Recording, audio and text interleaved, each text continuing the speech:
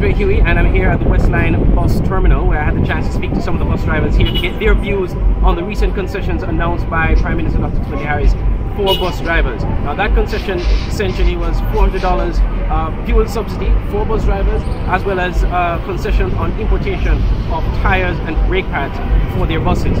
But as we spoke to Mr. Webster, the president of the Westline Bus Association, these measures are inadequate to meet the needs and concerns of bus drivers. We have written to the government since last year, June, concerning the concessions that was taken away from us for about over 10 years now. The, the concessions were on the desk of the, the, the Minister for, for, for the Transportation Board for nine months. Only in March when we had a meeting with the Minister, they were forwarded, they were forwarded to the Ministry of Finance.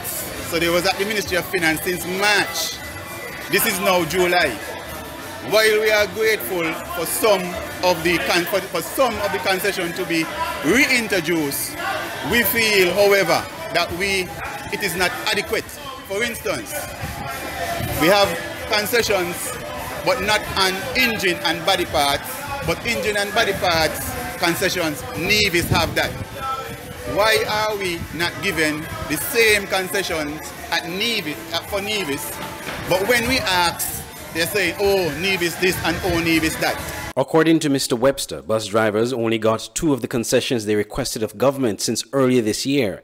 He said instead of a $400 fuel subsidy per month, which he stressed was inadequate, they had asked for $1,000, which amounts to $50 per day for five days a week.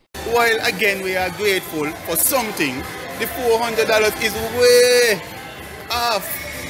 We spend 120 to $150 a day in gasoline a day. And if you work out $400 for a month, is like 28, 25 or somewhere around here a day. So I am saying that, well, what should have happened? We should have been given the $1,000 across the board. And a lot of the guys who this should affect, it, it, would not affect because, for instance, we have guys who are, who are working and driving for people. Those would not be eligible for anything.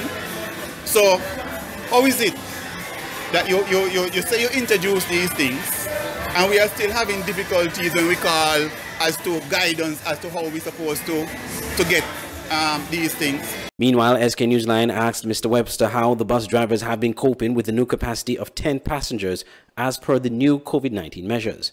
My capacity is 15 people.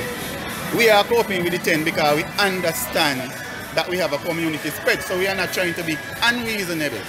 But, but we were already struggling even before the 10 even when we were running at full capacity, we were having hells and the devil to make something comfortable because keep in mind that a lot of people is not working. So we have at least maybe half the country out of work. So there's not much, not many people to commute. So that is the situation. What are you hoping now for government to do to sort of meet the bus drivers halfway? First of all, government needs to do the right thing. What is the right thing? You can't have people in Nevis or bus drivers in Nevis getting more concession than us. Um, the prices are much higher than ours. They are very comfortable. Another bus driver present agreed with Mr. Webster. And I agree with Rambo what he said. You know, we're trying to, you know, put input certain situation with the bus. We need more clients to come in and say certain more things about what Rambo just said. Okay?